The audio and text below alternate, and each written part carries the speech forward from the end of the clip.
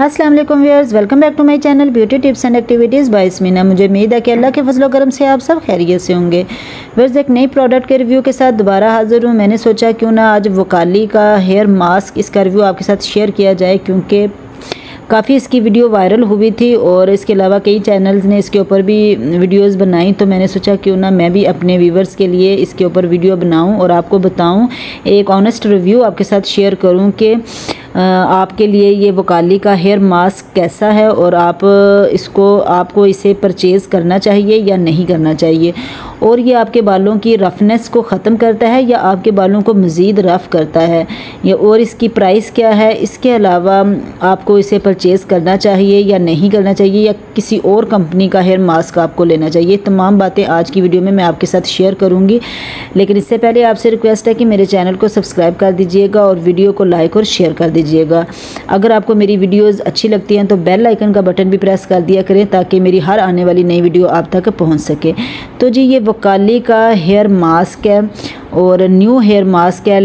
इसके ऊपर लिखा हुआ है जी, कैरेटिन कॉलेजन इसके अंदर मौजूद है, लेड सैलोन फ़ैशन और जी, ये आपको किसी भी कॉस्मेटिक शॉप से आराम से मिल जाएगा। ऑनलाइन भी आप इसको परचेज़ कर सकते हैं। काफ़ी वायरल हुई थी इसके बारे में वीडियोस जी, धड़ाधड़ लोग परचेज़ कर रहे थे, लेकिन मैं आपको इसके बारे में आज कुछ फैक्ट्स बताऊँगी। व्यूअर्स के इसके ऊपर तो लिखा हुआ है कि ये एक मास्क है।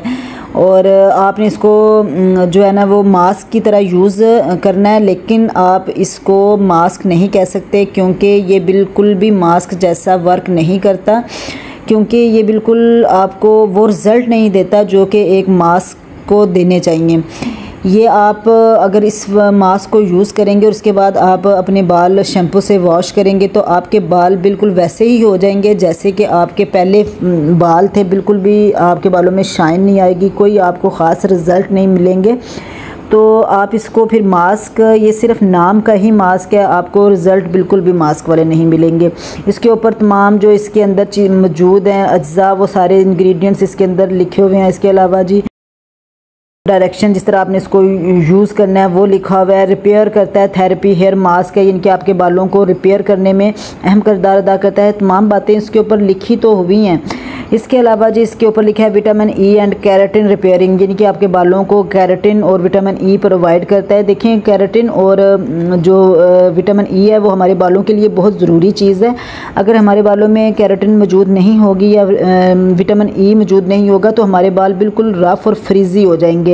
लेकिन हमारे बालों को कैरेटिन और विटामिन ई मिलना भी चाहिए। ये कोई ऑर्गेनिक प्रोडक्ट तो है नहीं और इसके अलावा आपके बालों को बिल्कुल भी मास्क जैसे रिज़ल्ट ये नहीं दे रही, क्योंकि मैंने इसका एक पहले जार यूज़ कर चुकी हूँ। ये जस्ट दूसरा जार मैंने सिर्फ़ रिव्यू शेयर करने के लिए परचेज़ किया है। मैंने इसको यूज़ नहीं करना, क्योंकि मुझे बिल्कुल भी ये पसंद नहीं आया। मैं फ्रेंकली आपसे अपना एक्सपीरियंस शेयर कर रही हूँ कि मेरे बालों में कुछ ख़ास फ़र्क जो है वो, क्योंकि मैं स्टिक्स कराती हूँ अपने हेयर्स में तो ख़ास तौर पे मास्क जो होता है वो स्टिक्स वाले हेयर्स के लिए बहुत ज़रूरी होता है, ताकि जो आपके बालों में कैराटिन ख़त्म हो गया, जो आपके बालों में स्मूदनेस बिल्कुल नहीं रहे, बाल रफ़ हो गए हैं तो उस चीज़ को जो है ना वो कवर करने के लिए मास्क लगाया जाता है।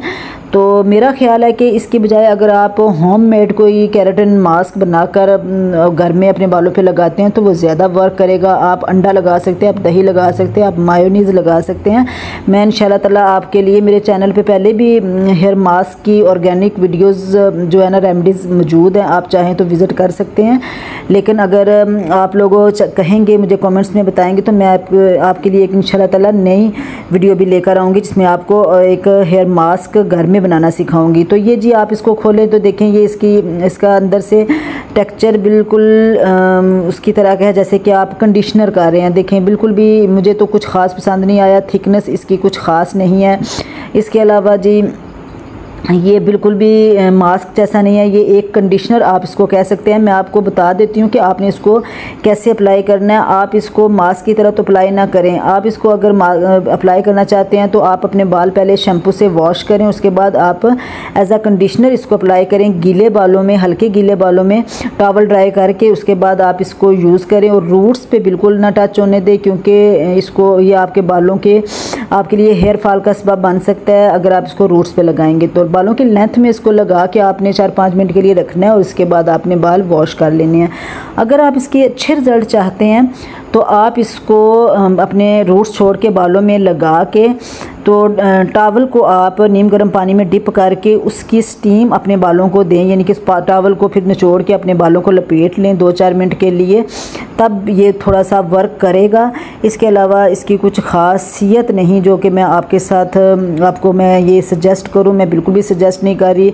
आप, आगे आपकी मर्ज़ी है। आप इसको परचेज़ करना चाहते हैं, इसका एक्सपीरियंस करना चाहते हैं तो आप कर सकते हैं। प्राइस मैं आपको बता दूँ सिक्स हंड्रेड की रेंज में ये आपको किसी भी कॉस्मेटिक्स शॉप से आराम से मिल जाएगा। इसके अलावा अगर आप कोई हेयर मास्क घर में बनाकर नहीं लगाना चाहते तो आप किसी और अच्छी कंपनी का ले लें, आप क्यूने का ले लें या फ्रामेसी का ले लें। आप किसी भी अच्छी कंपनी का hair mask keratin hair mask use करें, आपको बहुत अच्छे रिज़ल्ट मिलेंगे। लेकिन वकाली का मुझे हेयर मास्क बिल्कुल भी अच्छा नहीं लगा। मैंने सोचा कि जितना इसके बारे में वीडियोज़ पॉपुलर हुई हैं, जितना वायरल हुई हैं तो क्यों ना मैं भी आपके साथ इसकी एक वीडियो शेयर करूँ। आपको मेरी वीडियो कैसी लगी है? और आप आप इसको परचेज़ करेंगे ट्राई करेंगे या नहीं, मुझे कमेंट्स में लाजमी बताइएगा। और जाने से पहले आपसे रिक्वेस्ट है कि मेरे चैनल को सब्सक्राइब कर दीजिएगा वीडियो को लाइक और शेयर कर दीजिएगा, और बेल आइकन का बटन लाजमी प्रेस कर दीजिए करें, ताकि मेरी हर आने वाली नई वीडियो आप तक पहुँच सके।